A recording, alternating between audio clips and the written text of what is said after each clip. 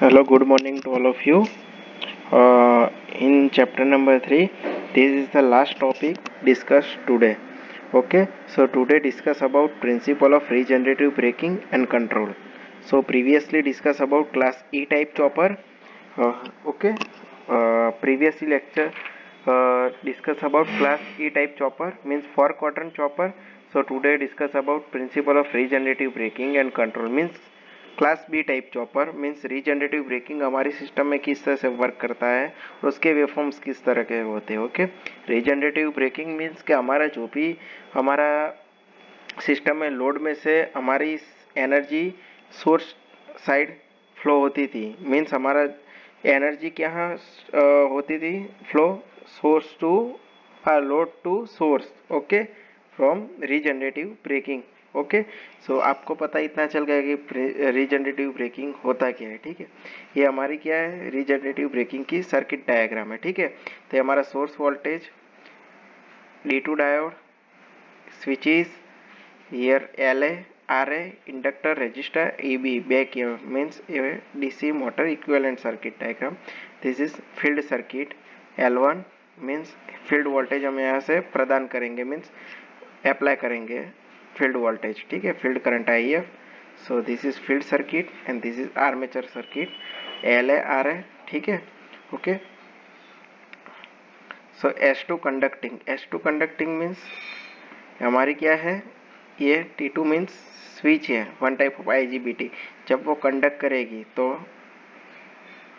तब हमारी equivalent circuit A बनेगी, ठीक है? कौन सा फ्लो करेगी current R A L A S two and E B okay and here हमारा सर्किट डायग्राम ठीक है? जब ओपन होगी तब, ठीक है? जब एस टू हमारा कंडक्ट नहीं करेगा तब तब हमारी यही सर्किट डायग्राम होगी। और जब एस टू कंडक्ट करेगा तब हमारी यह डायग्राम होगा, ठीक है? एस टू कंडक्ट करेगा तब ये, और नहीं करेगा तब ये, ठीक है? तो आउटपुट करंट हमारा फ्लो करेगा, वोल्टेज हमारा, ठीक है, ज़ीरो होगा। क्यों ज़ीरो होगा? क्योंकि हमारा सोर्स वोल्टेज कुछ मिलेगा नहीं, ठीक है? यहाँ पे वोल्टेज होगा, लेकिन कुछ समय के लिए थोड़ा ही होगा, क्योंकि बैक ई अंदर थोड़े टाइम के लिए होगा, लेकिन सोर्स वोल्टेज आर ज़ीरो ठीक है? And current will be flow okay तो separately excited DC motor equivalent circuit class B step up chopper okay so regenerative regenerative braking में हम कौन सा चॉपर यूज़ करेंगे class B step up chopper okay so position of switch and diode are interchange as compare to type A chopper motoring mode chopper and regenerating mode chopper okay so हमारी switch की position हम as पर our application change करेंगे, ठीक है? अगर switch की application हम क्लोज करेंगे तो एस टू कंडक्ट करेगा। तो हमारी ये होगी और एंड ऑन कर ऑफ़ कर देंगे स्विच को। तो हमारी स्विच की सर्किट डायग्राम इस तरह से हो जाएगा, ठीक है? तो due to this position interchanging the output current output current I zero means output current can only be negative but output voltage will be positive ठीक है? आउटपुट वोल्टेज हमारा पॉजिटिव होगा, लेकिन हमारा करंट होगा, वो क्या होगा? यहाँ से यहाँ फ्लो करेगा, ठीक है? अगर हम स्विच को क्या कर देंगे? ऑन ऑन कर देंगे ऑफ़ कर देंगे, ठीक है? मीन्स स्विच को ओपन कर देंगे तो क्या होगा? यहाँ से करंट फ्लो होता हुआ हुआ, यहाँ से जाएगा। मीन्स रिवर्स साइड जाएगा तो हमारा करंट हमारा क्या होगा? Negative but output voltage will be positive ठीक है? आउटपुट वोल्टेज मीन्स यहाँ से हम सप्लाई से देंगे तो आउटपुट वोल्टेज यहाँ पे मिलेगा। वो क्या होगा? पॉजिटिव होगा output voltage but input current is output current is negative okay the direction of power flow, now reverse, and it is the from load to source. ठीक है? तो हमारा पावर फ्लो यहाँ से लोड से सोर्स तरफ़ flow करेगा। ठीक है? हमारा लोड यहाँ ई बी है। ई बी में मीन्स हमारा किसकी इक्विवेलेंट है? DC motor separately excited DC motor separately excited DC motor में आर्मेचर में क्या होगा? बैक ईएमएफ होगा। उसमें थोड़ा वोल्टेज स्टोर होगा वो यहाँ से क्या होगा? इंडक्टर में भी एनर्जी स्टोर देन वो उसकी एनर्जी कहाँ पे फ्लो होगी? Return to source side load to source side flow होगी, ठीक है? तब हमारा डायोड डी टू क्या होगा? Forward direct forward forward direction में हमारा होगा, ठीक है? So A B is the back E M F okay of D C motor ठीक है, हमारा बैक ई एम एफ़ होगा, वो बैक ई एम एफ़ कहाँ जाएगा? लोड टू सोर्स साइड जाएगा, ठीक है? क्यों जाएगा? क्योंकि उसकी पावर की फ्लो डायरेक्शन क्या है? रिवर्स है, इसलिए, ठीक है? So assume the DC motor is already running ठीक है? एज्यूम करते कि डीसी मोटर हमारी ऑलरेडी यहाँ पे रनिंग करती है हमने। सोर्स वोल्टेज यहाँ पे दे दिया, हमारा नेगेटिव हमारा करंट फ्लो होता है पॉजिटिव वोल्टेज आता है, हमारी ऑलरेडी रनिंग कर रही है 1500 आरपीएम में सेपरेटली एक्साइटेड डीसी मोटर ठीक है? So when switch S2 is close okay हमने स्विच S2 को क्लोज कर दिया, ठीक है?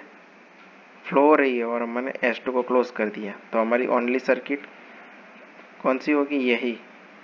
यही होगी हमारी सर्किट ठीक है? हमने क्लोज कर दिया, ठीक है? ओपन किया होता तो हमारी ये सर्किट बनेगी इस साइड की लेकिन हमने क्लोज कर दिया तो हमारी इस तरह से सर्किट बनेगी, ठीक है? फॉर एज्यूम हमने शॉर्ट कर दिया S two switch S two को क्लोज कर दिया।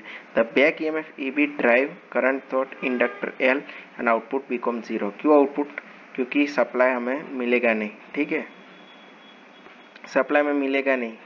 अगर मान लो कि हमने ये सोर्स वोल्टेज हम लोड को दिया होता तो यहाँ से होते हुए कुछ ना कुछ वोल्टेज हमें लोड में मिलेगा। लेकिन हमने क्या किया? एस टू को शॉर्ट कर दिया। तो क्या होगा? करंट फ्लो करेगा करेगा। करंट तो फ्लो करेगा क्योंकि इंडक्टर में एनर्जी स्टोर होगी। तो इंडक्टर का करंट फ्लो करेगा। बट हमारा आउटपुट वोल्टेज कुछ नहीं होगा क्योंकि हमने सप्लाई सिस्टम से उसको डिसकनेक्ट कर दिया। है मीन्स एस टू को क्लोज कर दिया है इस, इसलिए। Okay so assume the DC motor is already running and bare की M F E B is already develop ठीक है? So when switch switch S two is close switch S two को हमने क्लोज कर दिया the back E M F E B drives the current through inductor अब क्या करेगा? E B होगा हमारा जो भी लोड में। ठीक है? हमारा आर्मेचर होता है मोटर में। उसमें बैक एफ़ होता है। वो क्या करेगा? इंडक्टर करंट को ड्राइव करेगा। मीन्स इंडक्टर का करंट होगा, उसको क्या करेगा? फ्लो करेगा पूरी सिस्टम में। ओके तो करंट तो हमारा होगा इंडक्टर का, लेकिन उसमें वोल्टेज नहीं होंगे। वोल्टेज बिकम ज़ीरो क्यों नहीं होगा? क्योंकि उसको सप्लाई सिस्टम से अपने डिसकनेक्ट कर दिया। ठीक है? So inductor L will store the energy okay so inductor क्या करेगा? हमारी एनर्जी को स्टोर करेगा। क्यों? क्योंकि इंडक्टर के थ्रू हमारा करंट फ्लो हो रहा है। ठीक है? लेकिन वोल्टेज नहीं है। ठीक है? So inductor will store the energy and current through inductor will rise okay inductor के अक्रॉस में जो भी हमारा करंट होगा, वो राइज होगा। ठीक है? कब? जब हम एस टू स्विच को क्लोज करेंगे तब। ठीक है? सो एस अब क्या करेंगे? Switch S two is open ठीक है? अब हम हम क्या करेंगे? क्लोज थी तो उसको हम ऑफ़ कर देंगे, बंद कर देंगे एस टू स्विच को। तो store energy in inductance will induce the voltage east okay अब क्या करेगा? जो भी एनर्जी स्टोर की होगी, वो क्या करेगा? Will dissipate in circuit diagram ठीक है? क्या करेगा? यहाँ पे कि हमारी गेट डिसिपेट यहाँ पे होगी। ठीक है, यहाँ पे हमने क्या की थी? इंडक्टर के करंट स्टोर स्टोर होता था। Inductor get store energy. वो यहाँ पे क्या होगी? विल डिसिपेट यहाँ पे। ठीक है तो यहाँ से क्या होगा? हमारा लोड साइड, हमारा जो भी पावर था वो drive from load to source by D two. Okay D two हमारा फॉरवर्ड डायरेक्शन में आएगा। तो इंडक्टर हमारी क्या होगी? एनर्जी को डिसिपेट करेगी। और हमारा voltage E B load voltage होगा, उसमें वो और इंडक्टर में जो भी करंट था, वो दोनों मिला के कहाँ जाएगी? लोड से सोर्स साइड जाएगा। ठीक है?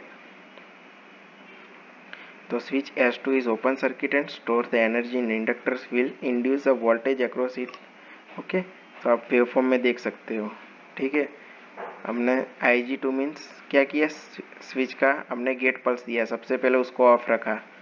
ठीक है ऑफ़ मीन्स ओपन कंडीशन में रखा स्विच को। देन आफ्टर ऑन किया। तो उसके अक्रॉस के वोल्टेज मिले ऑफ़ रखा ऑन रखा। ठीक है ऑफ़ रखा ऑन रखा। तो आउटपुट करंट हमें यहाँ पे देख लो। डायोड के अक्रॉस में ऑफ़ कंडीशन में मिलेगा। क्यों? क्योंकि हमने ऑफ़ किया है तो क्या होगा? ऑफ़ किया है तो हमने स्विच एस टू को ओपन कर दिया। तो करंट हमारा कहाँ फ्लो होगा? E B R A L A D two के through load to source side जाएगा, ठीक है? So load to source side गया तो डायोड करंट फ्लो हुआ। तो स्विच के ऑफ़ कंडीशन में हमारा डायोड करंट क्या होता है? विल राइज ठीक है? तो आफ्टर ऑन कंडीशन में स्विच को हमने क्लोज कर दिया, ठीक है? स्विच को हमने क्लोज कर दिया, मान लो। हमने ओपन था, अब हमने क्लोज कर दिया। ठीक है तो क्लोज किया तो क्या हुआ? अब डी टू नहीं फ्लो करेगा, अब क्या करेगा? I T I T means हमारा ट्रांजिस्टर स्विच होता है, उसका करंट क्या होगा? विल रिड्यूस देन आफ्टर उसका फ्लो करेगा आई टी टू करंट ठीक है, वो फिर से रिड्यूस मीन्स ऑन कंडीशन में वो डिस्चार्ज हो जाएगा एंड ऑफ़ कंडीशन में वो डायरेक्ट करंट फ्लो होगा। Okay so D two on ठीक है? ऑफ़ कंडीशन में क्या होगा? डी टू हमारा ऑन मीन्स डी टू हमारा कंडक्ट करेगा। एंड ईयर में क्या होगा? एस टू मीन्स स्विच हमारी ऑन होगी। यहाँ पे हमारा डी टू ऑन होगा। जब हमारी स्विच बंद होगी तब। जब हमारी क्लोज होगी क्लोज मीन्स वो कंडक्ट करेगी तब स्विच हमारी एस टू ऑन होगी, तब हमारा switch S two current flow करेगा। ठीक है तो ये हमारा क्या था?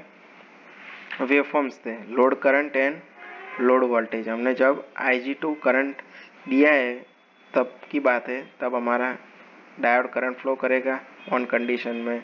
वो क्या होगा? विल रिड्यूस तब हमारा क्या होगा? S C H two means हमारी स्विच टू है, वो ऑन होगी। यहाँ पे D two means diode two on होगा, यहाँ पे स्विच टू ऑन होगी, यहाँ पे diode switch okay respectively work each other okay so हमारा टोटल लोड वोल्टेज कितना मिलेगा? कोई बता पाएगा? यहाँ से हमारा लोड वोल्टेज है और यहाँ पे इंडक्टर गेट एनर्जी स्टोर तो क्या होगा? रीजनरेटिव ब्रेकिंग तो हमारी एनर्जी जो भी सेव हो, की होगी ई में और इंडक्टर में, वो कहाँ होगी? दोनों मिला के सोर्स टू लोड टू ये हमारा लोड है आर्मेचर और लोड टू हमारा कहाँ फ्लो होगा? Source side by D two diode okay so load to source side तो हमारी रीजनरेटिव क्या होगा? ब्रेकिंग हमारी energy will utilize load to source side तो सोर्स साइड हमारा वोल्टेज क्या होगा? इंक्रीज हो जाएगा. प्लस पॉजिटिव वोल्टेज होगा. ठीक है? तो ये हमारा क्या था? Principle of regenerative braking okay so here आपके third chapter is fully completed. Okay? So, your in mid exam, first chapter, second chapter and third chapter are presents okay? आपके मिड एग्ज़ाम में कौन कौन से आएँगे chapter first second and third okay so third chapter is finished with regenerative braking control okay so type E chopper इसको हम दूसरी language में क्या बोलेंगे? Type each open okay so conclude lecture ये थैंक यू